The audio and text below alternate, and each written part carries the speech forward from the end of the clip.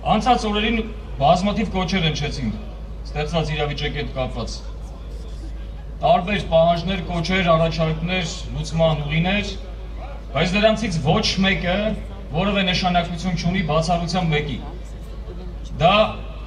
տարածաշրջան կապույտ սաղավարտների ներկայության ապահովումն է։ Այդ պահանջը պետք է ձևակերպվի ինչպես Հայաստանի ինչպես Մայր Հայաստանի բոլոր քաղաքներում, գյուղերում եւ հրապարակներում, այնպես էլ Արցախում։ Թե Արցախցին, թե Երևանցին, թե Գյումրեցին, թե Վանաձորցին, թե մեր բոլոր համերկրացիները պետք է միավորվեն մեկ պահանջի շուրջ, դա կապույտ սաղավարտների ներկայության ապահովումը տարածաշրջանում։ Սա այն այս պահին միակ հնարավոր լուծումն է, որպիսի չեղարկվի այն խեղկատակությունը, որը կոչվում է Բերզորյան միջանցք։ Եվ այդ միջանցքում տեղակայված խաղապահ կոչված։ Եվ այն խաղերը, որոնք հիմա իրականացնում են Բերզորյան միջանցքում։ Եթե մենք սա չենք անում, եթե մեր պահանջը այսպես հստակ որոշակի չենք ներկայացնում, ապա թույլ ենք տալիս, որպեսզի կյանքի կոչվի նոյեմբերի 9-ի տխրարչակ հայտարարության հիման վրա, այսպես կոչված խաղաղության պայմանագիրը կամ ես ավելի կոնկրետ դա կձևակերպեմ որպես նոր Բաթումի պայմանագիր,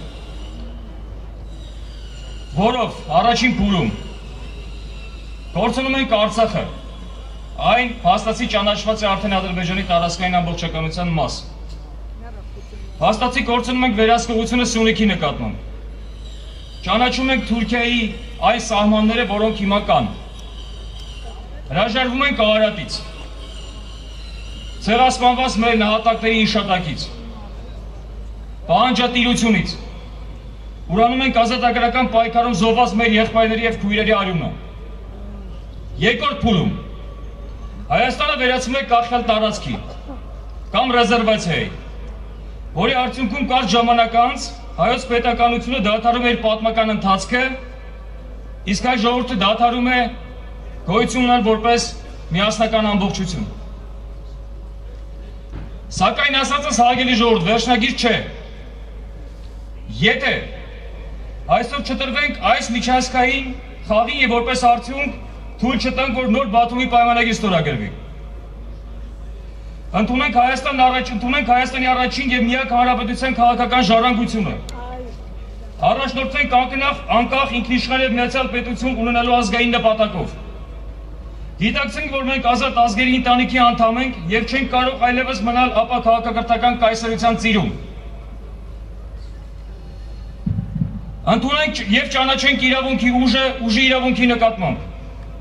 հարգենք ազատ ազգերի իրավունքներն ու օրինական շահերը եւ պահանջենք հարգել մերը։ Անվտանգություն սպառող ժողովրդից վերափոխվենք անվտանգություն արտահանող ազգ պետության։ Նշածս իրագործել է, եթե վեր կանգնենք անձնական կամ խմբային շահերից, ազատագրվենք ստորակարժ, օտարամոլ, ողորմելի վիճակից եւ միասնաբար գործող կառավարությունից պահանջենք, այո, գործող կառավարությունից պահանջենք, քանի որ այստեղ շատ կարևոր է, խնդրում եմ սա ճիշտ հասկանալ։ Անկախ նայած մենք ինչ կանխավարկած ունենք նրանց վերաբերյալ, փաստացի այս պահին Հայաստանի Հանրապետությունը արտաքին աշխարհում ներկայացվում է գործող կառավարության միջոցով։ Ոստի պահանջենք անհապաղ դուրս գալ ռուսական կայսրության հետ մեզ կապող բոլոր ստրկացուցիչ պայմանագրերից եւ միաժամանակ պաշտոնապես դիմել ԱՄՆ նախագահին Հայաստանի Հայաստանին ԱՄՆ ոչ անդամ ԱՄՆ ոչ ոչ ՆԱՏՕ անդամ հիմնական դաշնակցի կարգավիճակ տալու խնդրանքով։ Ինչ կարծիք եք, արժե ճանապարհով գնալ։ Շատ բարի շնորհակալ եմ։ Ես ինչպես ասացի, ցավոք վստահ եմ, որ սա քիչ իրագործելի է, որովհետև Այսինքն ինչ որովհետև հայտի պատճառները բոլորս գիտենք դրա մասին խոսել ենք բազմիցս, Այնուհանդերձ, հասկանալով, որ դա քիչ հավանական է, առաջարկում եմ հետևյալ քայլերը։ Եկեք հիմա պայմանավորվենք, որ նշած պահանջները չկատարելու դեպքում հայտարենք համազգային հանրահավաք, այստեղ հրավիրենք ինչպես այս կառավարության ընտրողին, այնպես էլ չընտրողին, կարճ ասած այն բոլոր հայերին, ում համար, ինչպես ասեցի, հայոց պետականությունը արժեք է։ Միաժամանակ հա, այսինքն հավաքվենք, որպիսի միասնաբար վերահաստատենք մեր պահանջը եւ հաստացի արձանագրենք այդ պահանջը չկատարած լինելը եւ պահանջենք կառավարության հրաժարականը։ Այո։ Այո։ Այո։ Նշված պահանջները ներկայացնելու զուգահեռ միաժամանակ ազգային քաղաքական ուժերից պահանջենք ձևավորել ստվերային կառավարություն, ժամանակավոր ստվերային կառավարություն եւ առաջադրել իրենց տեխնացուին, վարչապետի տեխնացուին։ Ես այստեղ մենք գիտենք, որ ազգային ժողովրդավարական բևեռը արդեն իսկ նախաձեռնել է եւ առաջադրել է իր վարչապետի տեխնացուին։ Բայց հաշվի առնելով խնդրի բարդությունը, հաշվի առնելով, որ Հայաստանի Հանրապետությունում ես հույս ունեմ, որ կան առողջ ազգային ուժեր, որոնք իզորու են միասնական օրակարգ ձևավորել եւ միասնաբար որոշել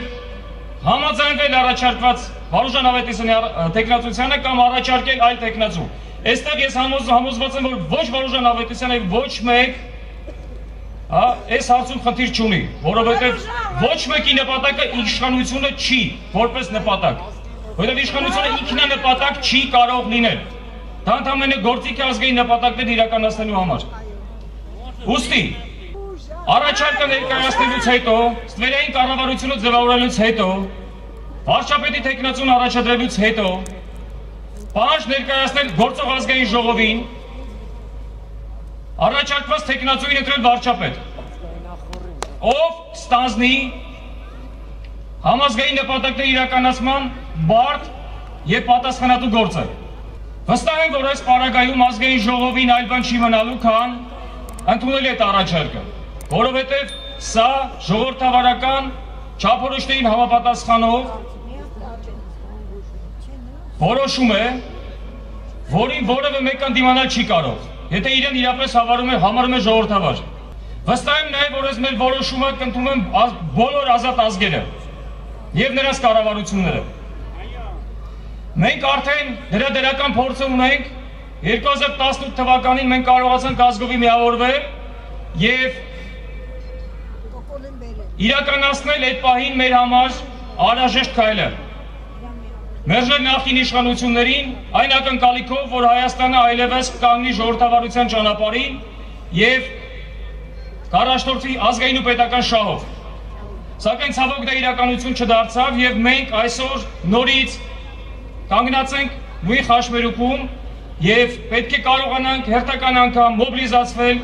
եւ ի վերջո կյանքի կոչել այն նպատակները, որոնք այդպես էլ հա թաղվեցին անցած տարիներում, տարիների ընթացքում անտարբերության հողի տակ։ Մենք կարող ենք սա անել ժողովուրդ ջան։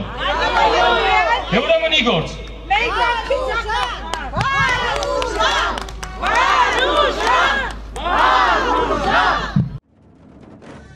Բաժանորդագրվեք ազգային ժողովրդավարական բևեռի YouTube-յան ալիքին։